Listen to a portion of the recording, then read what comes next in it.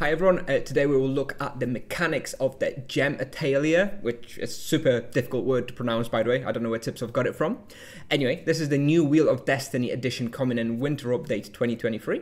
It's quite a complex feature um, that took me quite a while to understand and playing around with it on the test server, so I hope many of you will find this video helpful where I try to explain all of the mechanics of it. And just before we dive in, I want to clarify that in this video, we will not be covering what the best gems are, what the best builds with the gems are. We'll not be reviewing the individual modifiers uh, available through this uh, gem atelier. Uh, we will only be covering the mechanics, basically how to get the gems, how to reveal them, how to assign them, how to get the most of them in that way. Uh, and yeah, with that out of the way, let's dive in.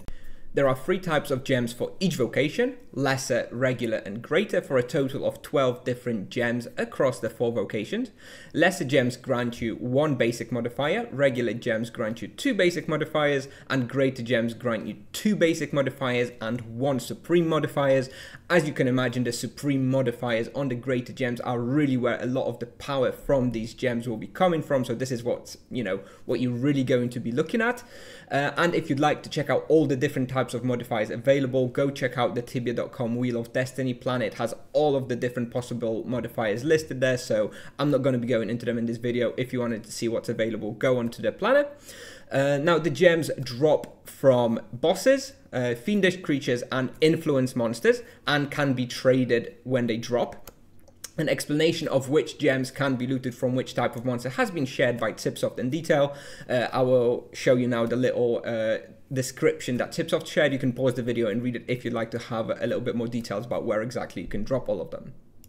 Once you have the gem type uh, that you want for your build. So basically, if you've got your lesser or regular or greater gem, which is the one that you want, uh, as the gems actually drop unrevealed from monsters, so you don't know what modifiers they have, you need to reveal it via the new Wheel of Destiny interface. And there's a new section called Gem Atelier, as you can see in the image. So you have to be in the temple uh, like in the regular Wheel of Destiny edits, and you need to have the gem in your inventory, and then you come into this screen. Uh, the values you see in the screenshot are no longer uh, true. Um, that during the test server they were changed. Currently, it costs 125k for a lesser, 1kk for a regular, and 6kk for the greater gem reveal. And let me tell you, given how many combinations there are, if you are going for a particular combination of modifiers that you want, for example, on a greater gem which costs you 6kk per roll, um, you will be spending a lot of money to get something decent. Um, you know, we are talking potentially hundreds of kk's to get like a really optimal uh, gem. Worth noting that there is a limit to how many gems you can have revealed. At the moment, this is 225, uh, which means that, you know, if if you keep revealing the gems over and over and you're getting some useless ones, make sure to just destroy them. There's a special destroy button that you can remove them from your gem atelier uh, so that you can continue revealing uh, new ones. Anyway, once you are happy with it, all you need to do is click the reveal button on the left hand side and your new gem will pop up and it will show tell you exactly what modifiers you received in this gem. At this point the gem is no longer tradable and it is a, a character bound in your wheel. Nothing else you can do with it, you can only destroy it if you don't want it. Once you have revealed a gem and its modifiers, each gem will be assigned to a particular quadrant or domain of the Wheel of Destiny. So you have four quadrants. Obviously, you have like the Gift of Life one, the Avatar one, and then the two specific vocation ones. And each gem by default is assigned to only one of the quadrants and that's the only quadrant in which it will work. However, you're also able to change the quadrant of a particular gem. So if you get a really good gem and you really want it in a particular quadrant, you can pay uh, to move it around. It costs 125k for um, lesser, 250k k for regular and 500k for greater gems. Uh, now this cost is a fraction of the cost of revealing of the gem, so probably not going to be a big deal. Uh, and the way the switching works, it moves uh, the gem to be available for the next quadrant over. So worst case scenario, you might need to move it three times over if you wanted to the, uh, if you wanted in the adjacent quadrant on the other in the counterclockwise direction. Once you have the gem in the right quadrant with the right modifiers exactly what you want and you want to assign it, you just need to click, uh, I believe, a button that says assign or maybe place in vessel, something like that. It's right there in the gem Atelier. In the screenshot now, uh, it's actually been hidden underneath the white text. It's just a little button that you can click, click to place it. Super easy. Once you've done that, the gem will be assigned to a particular quadrant and you can see it in the actual Wheel of Destiny, the old interface now.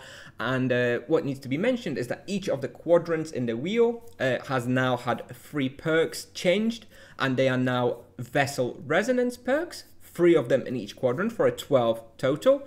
And those need to be picked up as part of your points for the modifiers from the gem to work.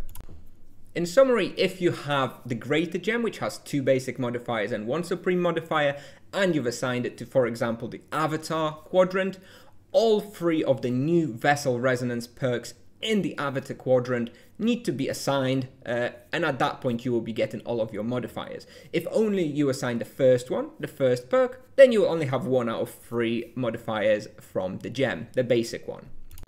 And just to mention, to unlock all three of the vessel resonance perks in the quadrant, you will need to spend a total of 475 points. In other words, level 5 to 5 is the earliest you can possibly uh, unlock the supreme mod from a greater gem.